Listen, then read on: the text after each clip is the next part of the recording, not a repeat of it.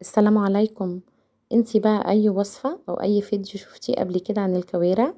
بجد الفيديو ده هيغير مفهومك عنها تماما. يعني لو انتي ما بتحبهاش بجد بعد الفيديو ده هتحبيها. جميلة جدا ولذيذة. بجد طريقة مختلفة خالص عن اللي شفتيها قبل كده. بس أول حاجة لازم تتحقق للكوارع لما تيجي تشتريها تكون بيضة ونضيفة وريحتها حلوة.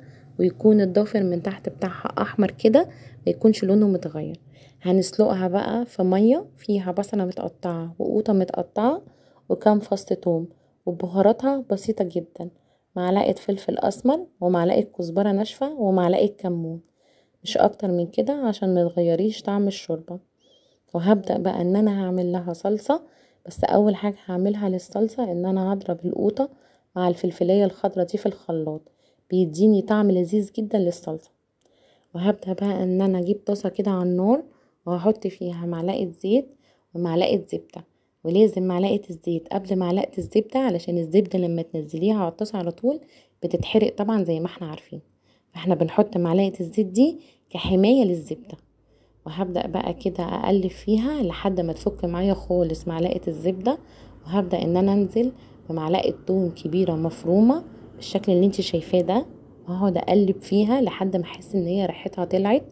بلاش لونها يتغير لأن لو لونها اتغير بتديني طعم مش حلو خالص ومرر ما بيبقاش طعم حلو. يعني هو أي وصفة حضرتك هتعمليها فيها توم بلاش يخل يعني لونه يتغير.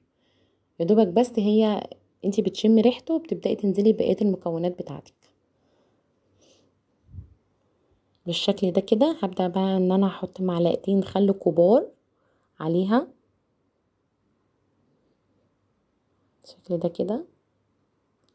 وهقلب لحد ما أحس إن هي قايمه تغلي. هبدأ إن أنا أنزل عليها بعصير الطماطم. لو إنتي بقى أول مرة بتشوفي قناتي اشتركي وفعلي الجرس عشان يوصلك مني كل جديد. ولو عجبك بقى الفيديو اعملي لايك. بجد أنا متأكدة إن الوصفة دي بالنسبة لك هتبقى مختلفة جدا وهايلة وإن شاء الله هتجربيها وهتعجبك وبجد هتعجب ولادك وبإذن الله هياكلوها ويحبوها بعد كده.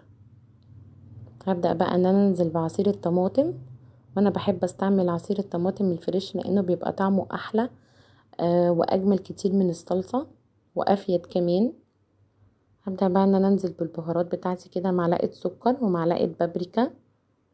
معلقة فلفل أسمر معلقة كمون ومعلقة ملح والملح طبعا حسب ذوقك.